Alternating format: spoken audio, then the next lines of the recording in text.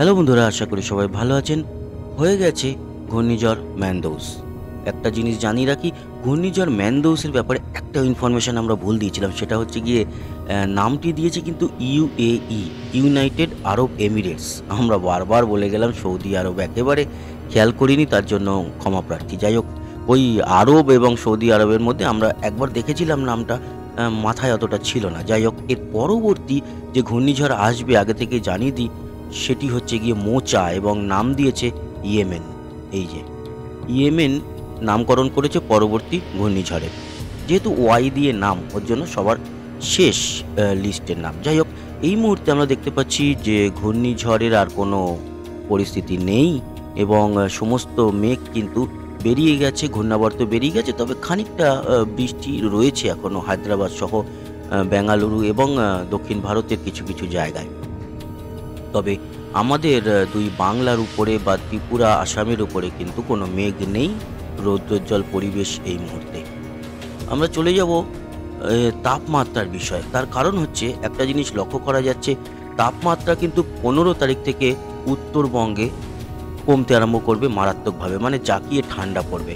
আর আমাদের দক্ষিণবঙ্গে সতেরো তারিখ থেকে। আপনাদের দেখিয়ে দিই ভোরবেলার দিকটায় তাপমাত্রাটা সবচেয়ে বেশি থাকে। আমি যদি ভোর তিনটে, চারটের দিকে বুধবার যাই আর আমি কারসেটটা এখানে কলকাতার দিকে রাখলাম।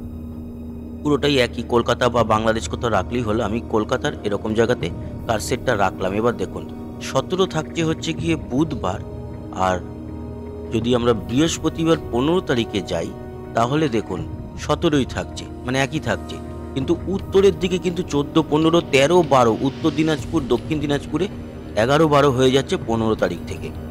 তারপর আমরা যদি ষোলো তারিখটা দেখি, দেখুন, উত্তরে কিন্তু ঠান্ডা আরও বাড়ছে। দশ এগারো চলে আসছে উত্তর দিনাজপুর, দক্ষিণ দিনাজপুর এবং মালদা। মুর্শিদাবাদও বারো, বীরভূমও কিন্তু বারোয় চলে আসছে। তবে তখনও কলকাতার দিকটাতে উনিশ কুড়ির মতো থাকছে।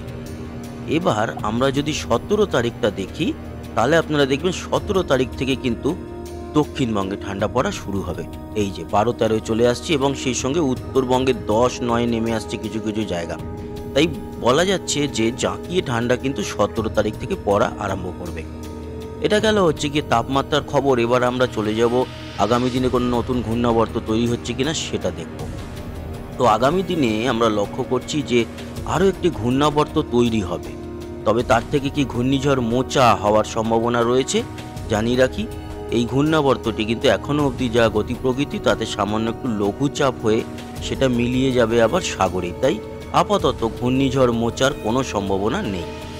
মোচা নামটা কিন্তু এমও সিএইচ এ যেটা বলছিলাম আমি ইএমএন দিয়েছিলাম। তো আপাতত কোনো সম্ভাবনা নেই, শুধু নামটা জানিয়ে দিলাম, পরবর্তী যখনই আসুক, এখন তো আর খুব একটা আসার সম্ভাবনা থাকবে না, এলে আবার সে মার্চ, এপ্রিলের দিকে আবার একটা ঘূর্ণিঝড় বা একটা দুটো ঘূর্ণিঝড় বঙ্গোপসাগরে বা আরব সাগরে তৈরি হবে। সেটা তো প্রতি বছরই হয়ে থাকে। তো তখন হয়তো হবে মোচা, যাই হোক, আপাতত কোনো সম্ভাবনা নেই। এবার চলে আসি আমরা বৃষ্টি ও বজ্র মোডে। বৃষ্টি ও বজ্র মোডেও কিন্তু কোনো রকম কোনো বৃষ্টির সম্ভাবনা দেখা যাচ্ছে না। আমরা যদি মঙ্গলবার কুড়ি তারিখ অবধি পুরো ফলো করে নিই, তবে দেখতে পাচ্ছি পশ্চিমবঙ্গ, বাংলাদেশ এবং ত্রিপুরা ও আসামে মঙ্গলবার কুড়ি তারিখ অবধি, বিশে ডিসেম্বর অবধি কোনো রকম কিন্তু কোনো বৃষ্টির কোনো সম্ভাবনা লক্ষ্য করা যাচ্ছে না। তো এই হচ্ছে গিয়ে পরিস্থিতি। আমরা যদি একটু উত্তর ভারতের তাপমাত্রাটা দেখি, তাহলে বুঝতে পারবেন আমাদের জম্মু কাশ্মীরের অবস্থা এই মুহূর্তে কি। জম্মু কাশ্মীর এই মুহূর্তে বরফ পড়ছে এবং মাইনাস মাইনাস উনিশ থেকে শুরু করে কোথাও কোথাও মাইনাস বাইশ ডিগ্রি। এছাড়া গিলগিট বাল্টিস্তান এই দিকগুলোতে মাইনাস টোয়েন্টি ওয়ান এই সমস্ত কিন্তু কাশ্মীরের অঞ্চলগুলো বিভৎস ঠান্ডা। আপনারা দেখতে পাচ্ছেন জম্মু কাশ্মীরে তো দেখলেই আহ, দেখলেনই যে মাইনাস টোয়েন্টি টু পৌঁছে যাচ্ছে। যাই হোক এই হচ্ছে পরিস্থিতি। যেমন আমাদের দার্জিলিংয়ে যদি যাই বা গ্যাংটকে যদি যাই সিকিম গ্যাংটক সেখানে কিন্তু তাপমাত্রা দেখুন এই মুহূর্তে ষোলো পনেরো। কিন্তু যদি ভোরবেলায় দেখেন, তাহলে বুঝতে পারবেন যে ভোরবেলার দিকে কত তাপমাত্রা কমে যাচ্ছে। বেশ খানিকটা কিন্তু মানে ঠান্ডার পরিস্থিতি দেখুন, পাঁচে চলে আসছে। এছাড়া আরেকটু উত্তরে গেলে মাইনাস দুই, তিন, যেটা লাচুং আর একটু উপরে বরফ পড়ে। তো এই হচ্ছে পরিস্থিতি। আশা করি আপনাদের এই আবহাওয়ার খবর কাজে লাগল। সঙ্গে থাকবেন আমাদের সাবস্ক্রাইব করে, লাইক, শেয়ার অবশ্যই করবেন। কমেন্ট বক্সে আপনার মতামত জানাবেন। আসি আবার দেখা হবে। সবাই ভালো থাকবেন, সুস্থ থাকবেন। টাটা।